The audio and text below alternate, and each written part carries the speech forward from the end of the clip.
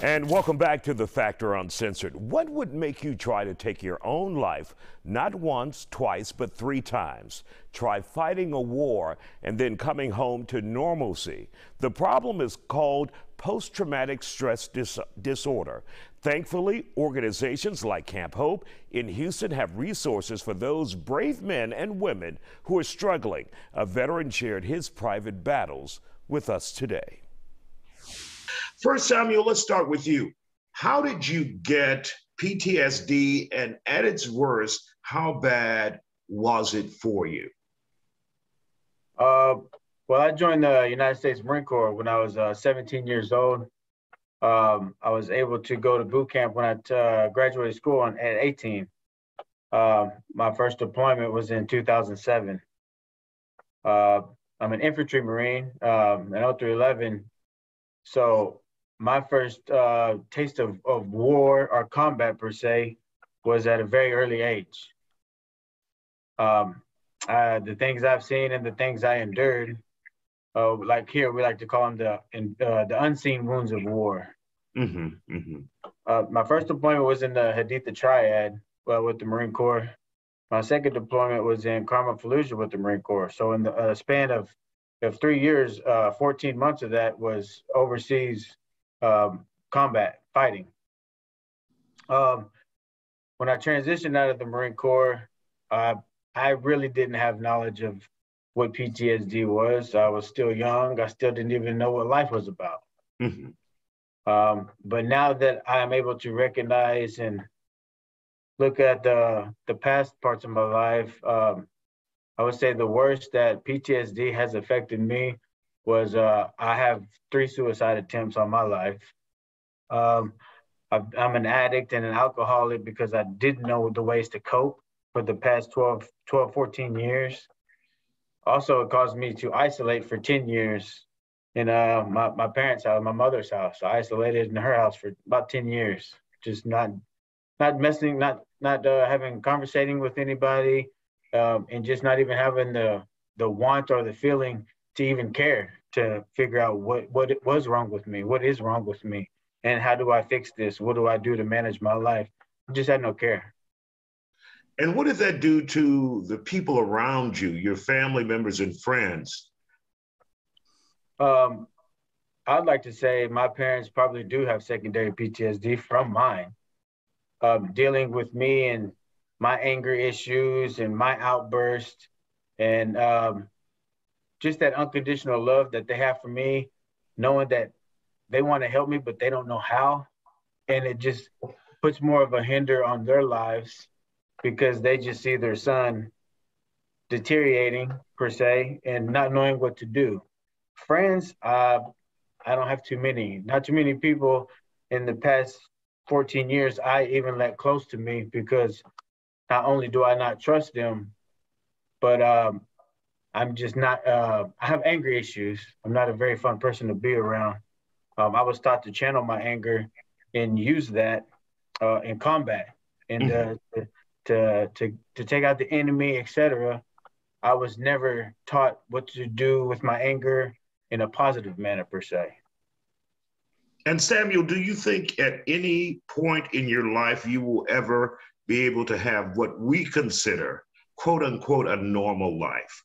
Where that what you have seen, uh, that you have taken part in in the military will be a thing of the past, but obviously something you will never forget. It is a part of you now. But do you think you will be able to live what many consider a normal life at some point?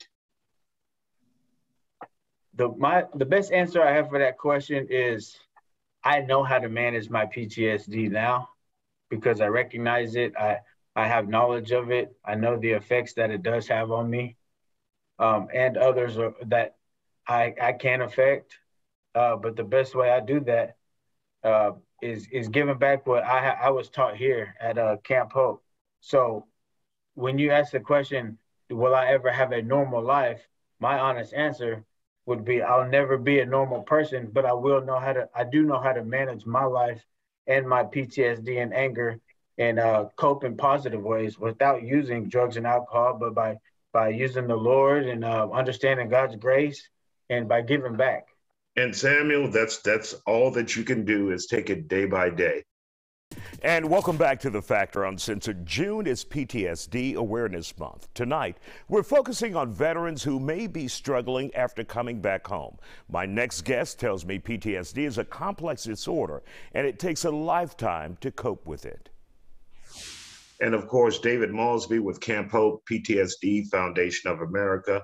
Samuel's story is something that you see quite often as your organization, and it is PTSD Awareness Month here in, in June. Um, just how difficult is it to see these types of stories every day for you, David? Yeah, you know, it's you can't hear these kind of stories without it affecting you. You just can't.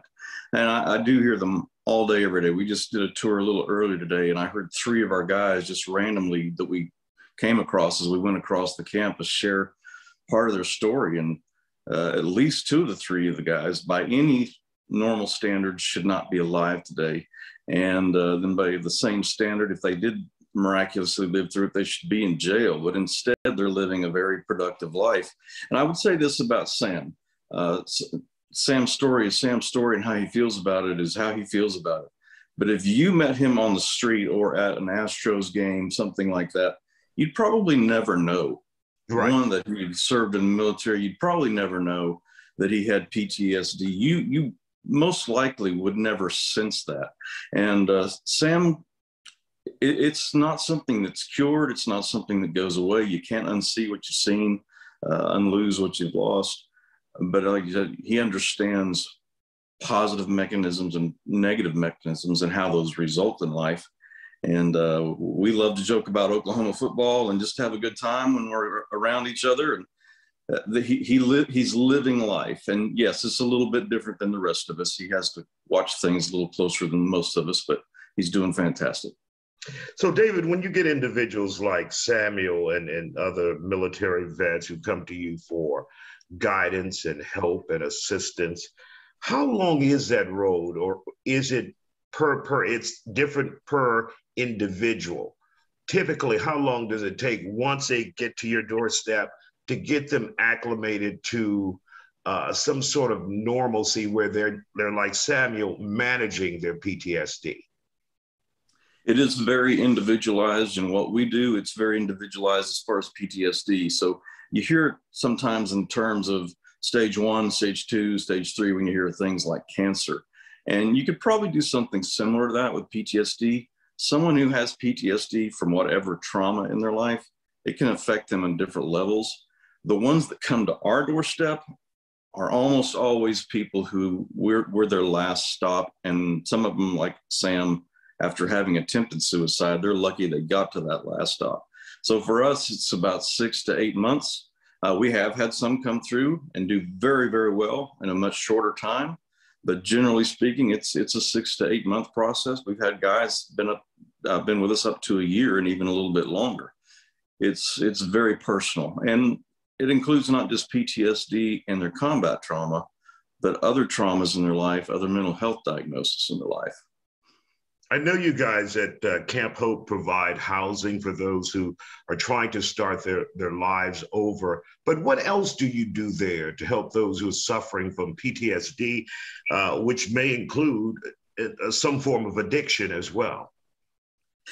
The vast majority of those that come to, to us do have addictions. So we have AA groups, we have NA groups. We run classes throughout the day that vary from emotional regulation to uh, self esteem classes, uh, how to write thank you notes. It's a very wide variety of things. When they are getting closer to the completion of the program, we have a, an entirely uh, new program that's completely dedicated to their transition. And that can be going to, back to school, it can be going to start a new career, or it can be, if the family's, family is still an opportunity, transitioning back into the home. And that can be very challenging and very difficult as well. But we try to give them a very well-rounded program. We try to have some fun, uh, take them to a baseball game every now and then, something to get them out and interacting in public and realize they can do that and they can enjoy it again. So, David, for those who are in the public who would like to help or get involved or just get more information, where can they go to learn more about Camp Hope and the PTSD Foundation of America? Well, the website is ptsdusa.org. Everything's there, including support groups that we run across the city uh, outside of Camp Hope. Also, we run Zoom groups. People can join those. Um, then volunteer opportunities, donation opportunities, all of it's there at the website. Also on our social media, uh, Facebook and Twitter, PTSD USA. So across the board, it's PTSD USA. All right. And Samuel, we want to thank you for mm-hmm. joining us and sharing your story. Obviously, that's not easy to do, but you did it will freely and willingly. And we appreciate you, sir. Thank you for joining us. And Dave, thank you for joining us as well. Those guys do some great work here in the community.